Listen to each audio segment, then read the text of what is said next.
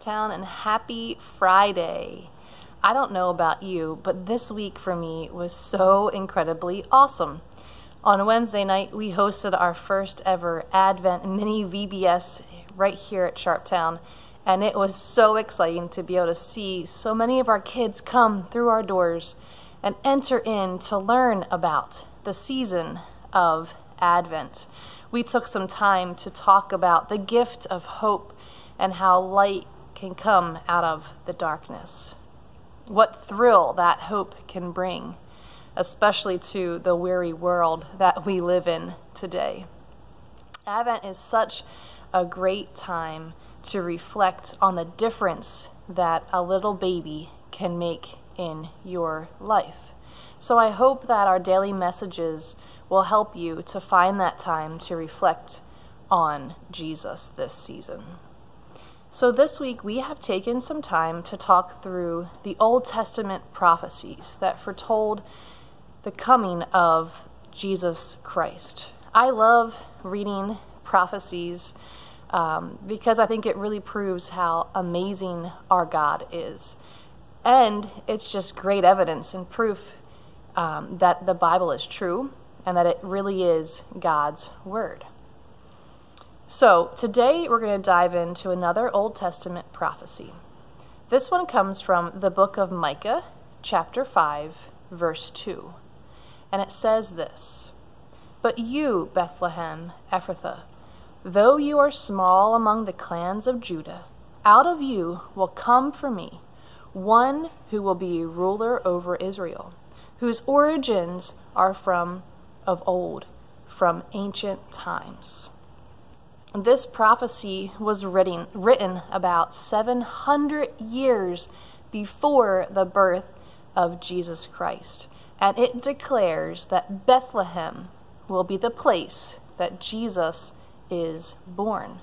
This verse eliminates all other cities or towns. So, why Bethlehem? Bethlehem was barely worth counting among the clans of Judah. It was an insignificant place, but God chose Bethlehem. Not the Bethlehem that Ben was talking about yesterday, where he grew up, but the town of Bethlehem, where Jesus would be born.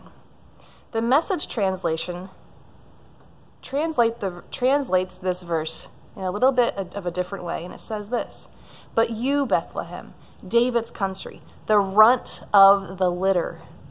From you will come the leader who will shepherd rule Israel. He'll be no upstart, no pretender. His family tree is ancient and distinguished. Bethlehem is the runt of the litter. Even our Christmas carol sings, O little town of Bethlehem. No one wants to be called little. Growing up and being the youngest in my family, sometimes I heard the words, Well, you're just too little. It's like we're saying Bethlehem was too little. But God chose to do something amazing there. The insignificance of Bethlehem, though, is outweighed by the great significance of the one who was born there. God chooses something small he chooses the quiet, the out of the way, and does something that changes the world and all of history and eternity. So, why? God chooses Bethlehem so that no one can boast in their achievements, but only in the achievements of God. 1 Corinthians chapter 1, 27 to 31 says this. But God chooses the foolish things of this world to shame the wise. God chooses the weak things of this world to shame the strong. God chooses the lowly things of this world and the despised things and the things that are not to nullify the things that are, so that no one may boast before him.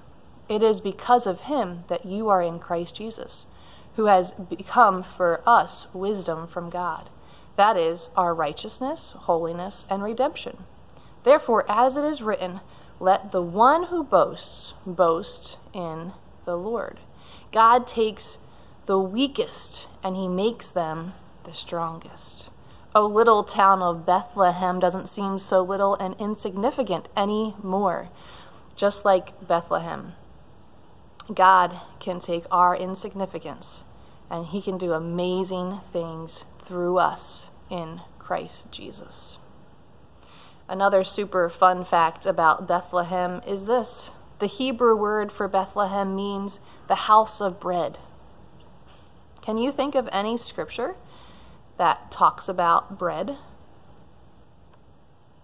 Actually, in John chapter 6, verse 35, Jesus declares, I am the bread of life.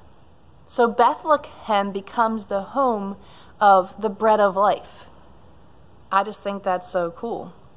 Bread that is essential to human existence and necessary for eternity. Without this bread, there is no hope.